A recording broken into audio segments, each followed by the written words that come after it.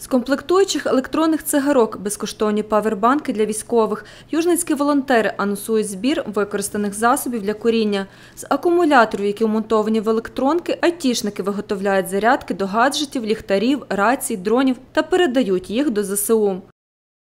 Бокси для збору відпрацьованих цигарок розміщені в двох торгівельних центрах міста.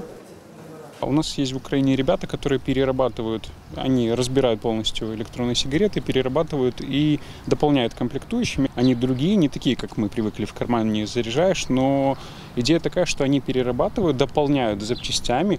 Там может, может быть коробочка, может быть тубус, но и они многофункциональные, потому что они большой мощности. Я видел там и 40, и 30 тысяч, это очень, ну, и много разъемов. Парни, которые занимаются, это PowerKit называется.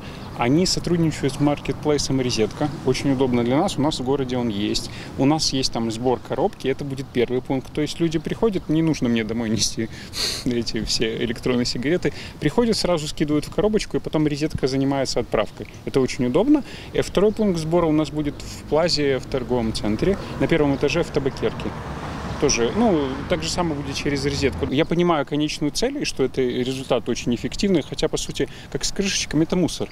Мусор, который лежит вот у людей, может лежать годами или месяцами ненужный, но мы можем сделать его полезным. Мы Перший пакунок з непрацюючими електронками Максиму Самойлову передала мешканка його будинку.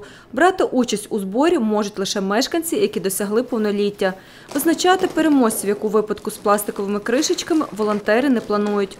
А детям не надо нести, вы не пойдете в кинотеатр за э, электронные сигареты. Это с- осознанные люди, которые курят.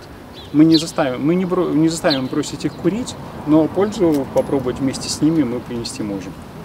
Акція зі збору використаних засобів для куріння є безстроковою. Волонтери зазначають, що павербанки будуть виготовляти для військових до кінця війни.